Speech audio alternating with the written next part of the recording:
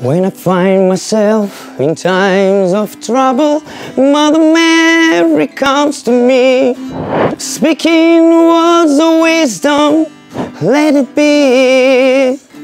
Битлз навсегда. Слова из их песен известны сегодня каждому. Поклонники чествуют легендарную группу. 61 год назад музыканты впервые выступили в Ливерпуле и с тех пор будто навечно завоевали сердца людей. Эти песни чистые и честные, и настоящие.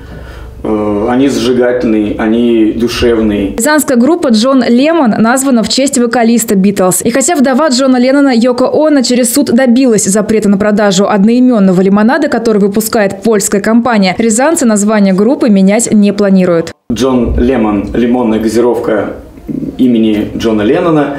Apple Маккартни, яблочная газировка имени Пола Маккартни. Джордж Персон, грушевая газировка имени Джорджа Харрисона. И Манго Стар, манговая газировка имени Ринга Стара, барабанщика. Сейчас Битлз занимает первое место в списке величайших исполнителей всех времен, а также в сердцах поклонников, ведь годами их становится только больше.